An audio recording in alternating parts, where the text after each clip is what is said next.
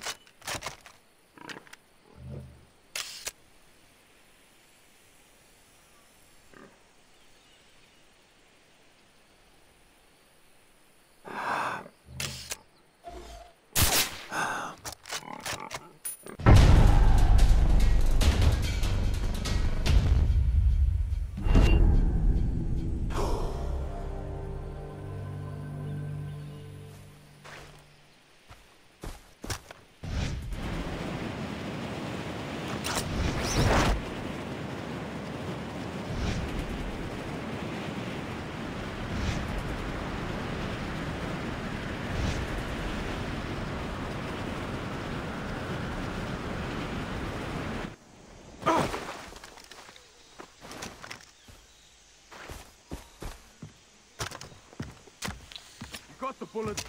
Nothing to be afraid of.